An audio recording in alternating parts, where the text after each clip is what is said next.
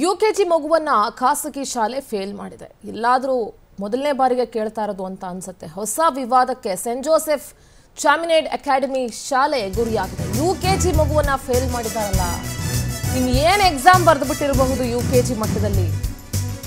ಆನೇಕಲ್ನಿರುವಂತಹ scent Joseph Chaminade academy ಶಾಲೆ U K G ಓದ್ತಿದ್ದಂತಹ ಆರು ವರ್ಷದ ಮಗು ನಂದಿನಿ ಫೇಲ್ ಆಗಿರುವಂತಹ ಮಗು. ಗುಬ್ಬಿ ಮೇಲೆ ಬ್ರಹ್ಮಾಸ್ತ್ರ ಪ್ರಯೋಗ ಮಾಡಿದಂತೆ ಕಾಣಿಸ್ತಾ ಇದೆ. ಖಾಸಗಿ ಶಾಲೆ, ಇನ್ನೆಂಥ ಎಜುಕೇಶನ್ ಕೊಡ್ತಾ ಇದ್ದಾರೋ ಇನ್ ಎಷ್ಟು ಮಟ್ಟಿಗೆ ವ್ಯಾಲ್ಯೂಯೇಷನ್ ಮಾಡ್ತಾ ಇದ್ದಾರೋ ಗೊತ್ತಿಲ್ಲ.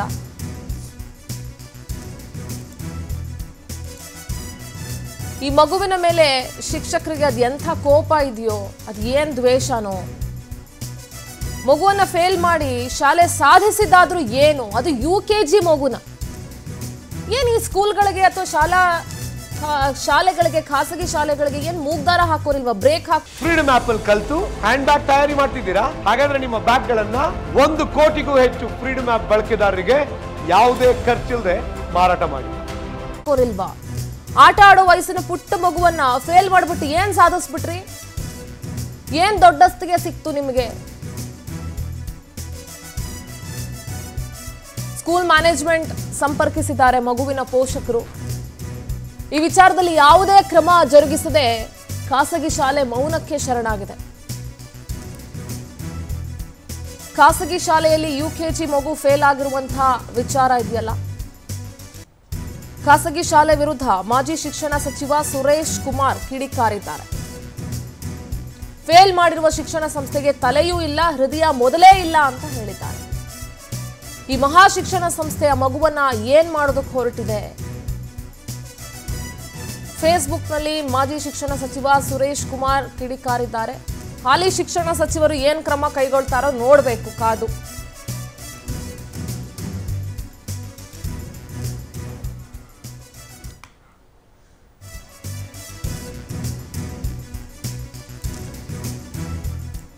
ಎಸ್ ನಮ್ಮ ಜೊತೆಗೆ ಶಶಿಕುಮಾರ್ ಖಾಸಗಿ ಶಾಲೆಗಳ ಒಕ್ಕೂಟದ ಅಧ್ಯಕ್ಷರು ದೂರವಾಣಿ ಸಂಪರ್ಕದಲ್ಲಿದ್ದಾರೆ. ಸರ್, ನಮಸ್ತೆ.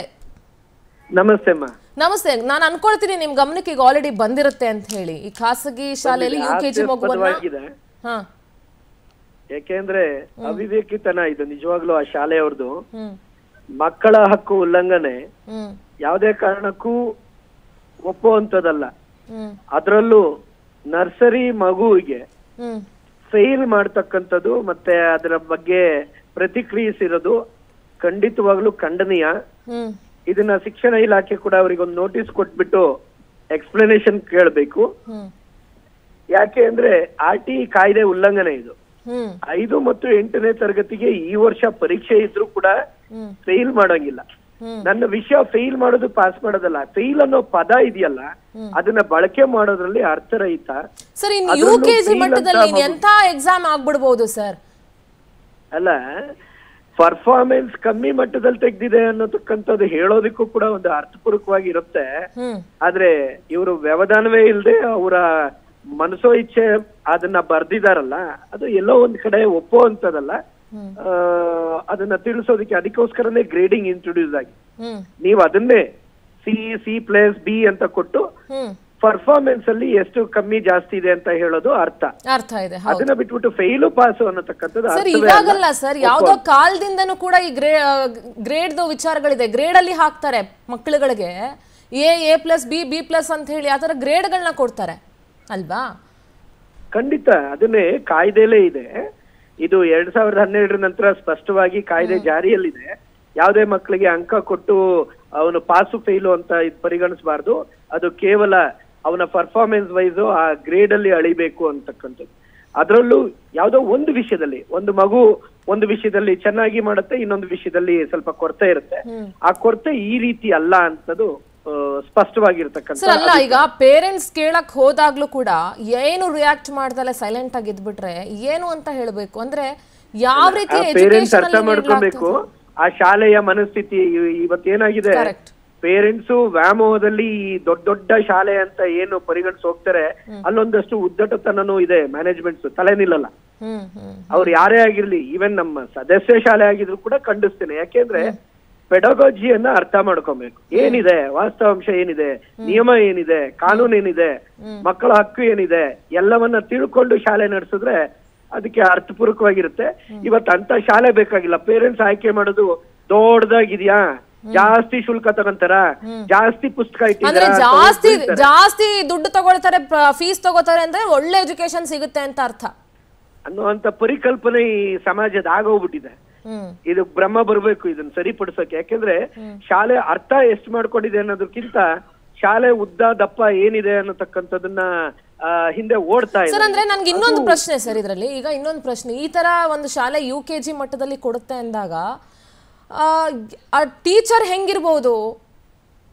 ಇದು ಟೀಚರ್ ತಪ್ಪಲ್ಲ.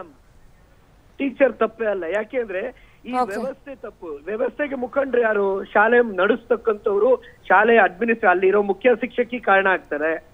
ಯಾಕೆ ಇದು ಒಂದು ಟೀಚರ್ ಮಾಡೋ ಕೆಲಸ ಅಲ್ಲ? ಟೀಚರಿಗೆ ಇನ್ಸ್ಟ್ರಕ್ಷನ್ ಕೊಡೋರು ಯಾರು? Management head of the institution ಅಲ್ವಾ? ಆ ಮುಖ್ಯ ಶಿಕ್ಷಕಿಗೆ ಓಕೆ ಆ, ತಿಳು- ಸರ್ ನಾನು ಮಾತನಾಡ್ತೀನಿ ನಿಮ್ಮ ಹತ್ರ. ಗುರುರಾಜ್ ಕರ್ಜುಗಿ ಅವರು ಇದ್ದಾರೆ ಶಿಕ್ಷಣ ತಜ್ಞರು ನಮ್ಮ ಜೊತೆ ಮಾತನಾಡ್ತಾರೆ. ಸರ್ ನಮಸ್ತೆ. ನಮಸ್ತೆ ನಮಸ್ತೆ ನಮಸ್ತೆ ಸರ್. ಸರ್ ನಿಮ್ಮ ಗಮನಕ್ಕೆ ಬಂದಿದೆಯಾ ಸರ್? ಒಂದು ಶಾಲೆ ಖಾಸಗಿ ಶಾಲೆ ಆನೇಕಲ್ನಲ್ಲಿ ಯು ಕೆ ಜಿ ಮಗುವನ್ನ ಫೇಲ್ ಮಾಡಿರುವಂತದ್ ವಿಚಾರ? ಇಲ್ಲ ನನ್ನ ಗಮನಕ್ಕೆ ನಾನು ಆರೋಗ್ಯ ಸರಿ ಇರ್ಲಿಲ್ಲ. ಎಸ್ ಓಕೆ ರೈಟ್ ಸರ್ ನಾನು ನಾನು ಬಹಳ ಚುಟ್ಕಾಗಿ ಹೇಳ್ಬಿಡ್ತೀನಿ. ಆನೇಕಲ್ನಲ್ಲಿ saint Joseph Chaminade academy school ಅಂತ ಒಂದು ಸ್ಕೂಲು ಖಾಸಗಿ ಶಾಲೆ ಇದು. ಯು ಕೆ ಜಿ ಮಗುವನ್ನ ಫೇಲ್ ಮಾಡಿದ್ದಾರೆ ಸರ್ ಎಕ್ಸಾಮ್ ಅಲ್ಲಿ. ಏನ್ ಹೇಳ್ತೀರಿ ಸರ್ ನಿಮ್ ರಿಯಾಕ್ಷನ್ ಏನು? ಅಲ್ಲ ಫೇಲ್ ಮಾಡೋಂಗಿಲ್ಲ ಪರೀಕ್ಷೆನೇ ಇಲ್ಲ ಹಂತದಲ್ಲಿ. ಆಕ್ಚುಲಿ ಈಗ ಸರ್ಕಾರ ಹೇಳ್ತಿರೋ ಎರಡನೇ ಕ್ಲಾಸ್ ವರ್ಗ ಯಾರನ್ನೂ ಫೇಲ್ ಮಾಡೋಂಗಿಲ್ಲ. ನ್ಯೂ ಎಜುಕೇಶನ್ ಪಾಲಿಸಿಯಲ್ಲಿ ಅಂತೂ ನ್ಯಾಷನಲ್ ಎಜುಕೇಶನ್ ಪಾಲಿಸಿಯಲ್ಲಿ ಎರಡನೇ ಕ್ಲಾಸ್ ವರ್ಗು ಫೌಂಡೇಶನ್ ಲೆವೆಲ್ ಅಂತ. ಯಾರನ್ನೂ ಫೇಲ್ ಮಾಡೋ ಪ್ರಶ್ನೆನೇ ಇಲ್ಲ ಅಲ್ಲಿ. ಫೇಲ್ ಅಂತ ಪ್ರಶ್ನೆ ಪ್ರಶ್ನೆನೇ ಬರಲ್ಲ. ಪರೀಕ್ಷೆ ಅಂತ ಇರೋಲ್ಲ ಅಲ್ಲಿ ಹುಡುಗರಿಗೆ. ಆ ಮಕ್ಳು ಏನ್ ಕಲ್ತಿದ್ದಾರೆ ಅನ್ನೋ ಗುರುತು ಮಾಡ್ಬೇಕೆ ಹೊರತಾಗಿ ಇವ್ರು ಫೇಲ್ ಆದ್ರು ಅಂತ ಇರೋದೇ ಇಲ್ಲ ಅಲ್ಲಿ ಅಲ್ಲಿ. ಸರ್ ಇಲ್ಲ ಫೇಲ್? ಅಂತಾನೆ ಹಾಕ್ಬಿಟ್ಟಿದ್ದಾರೆ. ಇದಕ್ಕೆ ಇಲ್ಲ ಇಲ್ಲ ಫೇಲ್ ತಪ್ಪದು ತಪ್ಪದು ಖಂಡಿತ ತಪ್ಪದು. ಅದು ಶಿಕ್ಷಣ ಅಧಿಕಾರಿ ಗೊತ್ತಾದ್ರೆ ತುಂಬಾ ಕಷ್ಟ ಆಗುತ್ತೆ ತಪ್ಪಾಗತ್ತೆ ಅದು. ಅದರಿಂದ ಅದ ಫೇಲ್ ಮಾಡಬಾರ್ದು ಹಾಗೆಲ್ಲ. ಸರ್ ಈ ಈ ರೀತಿಯಾದಂತಹ ಶಾಲೆಗಳಿಗೆ ಏನ್ ಹೇಳ್ತೀರಿ? ಇವತ್ತು ಶಾಲೆಗಳು ಶಿಕ್ಷಣವನ್ನ ನೀಡಬೇಕಾಗಿರುವಂತಹ ಶಾಲೆಗಳು ಮೌಲ್ಯಗಳನ್ನ ಕಳ್ಕೊಳ್ತಾ ಇದ್ದಾವೆ. ಹೌದು ಅದನ್ನ ನಮ್ಮ ಅಧಿಕಾರಿಗಳು ಹೋಗ್ತಾರಲ್ಲ ಇನ್ಸ್ಪೆಕ್ಷನ್ಗೆ ಸರಿಯಾಗಿ ನೋಡ್ಬೇಕು ಅದನ್ನ ನೋಡ್ಬಿಟ್ಟು ಹಂಗಾಗೋದಿದ್ರೆ ನಿಮ್ ಶಾಲೆ ಸರಿ ಇಲ್ಲ ಅಂತ ಹೇಳ್ಬೇಕಾದ್ರೆ ಅದ್ರಲ್ಲಿ ಸಂಕೋಚನ ಇಲ್ಲ. ಈಗ ಎಲ್ ಕೆ ಜಿ ಮಗುಗೆ ಯು ಕೆ ಜಿ ಮಗುಗೆ ಪರೀಕ್ಷೆ ಮಾಡಿ ಫೇಲ್ ಮಾಡ್ತಿ ಏನ್ ಫೇಲ್ ಮಾಡೋದು ಅದನ್ನ ಸರ್ ಏನ್ ಸಾಧಿಸಿದಾದ್ರೂ ಏನು ಅಂತ ಗೊತ್ತಾಗ್ಲಿಲ್ಲ. ಇಲ್ಲ ಇಲ್ಲ. ಏನಿಲ್ಲ ಅದೊಂಥರ ಆ ಮಗು ಬಹುಶಃ ಅಡ್ಮಿಷನ್ ಬೇಡ ಅನ್ಸಿರ್ಬೇಕು ಅವ್ರಿಗೆ. ಅದಕ್ಕೆ ಅದೇನೋ ಇರ್ಬೇಕು.